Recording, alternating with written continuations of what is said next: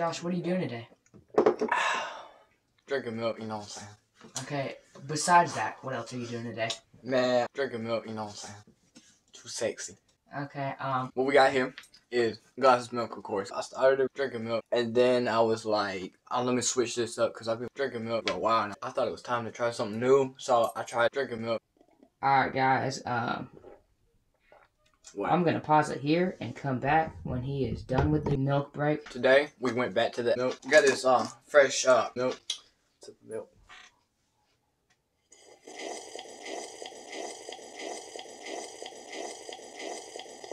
Mmm. Gotta be like really good at this. Oh, How satisfying is that?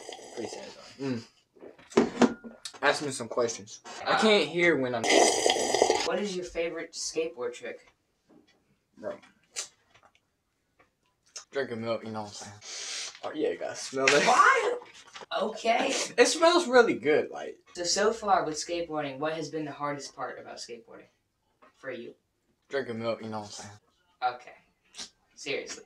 Yeah, Okay. All right. Mm. bro. I want this to be straight, bro. I want this to be perfect. Okay. So far, hold up the camera and show it what it looks like right now. So far, it's looking good, dog. Like, so far, it's looking really good. I'm more of a Jessup guy, but he's a, he's a milk guy. Well, which one's up about? Milk. Bro, it's amazing, bro. Like you should join. You know, ask to join. Hey, if you're not good at drinking milk, you can't join. Apparently. I don't know who said that, but Give me a countdown, dog. three, two, three, two, three, two, zero.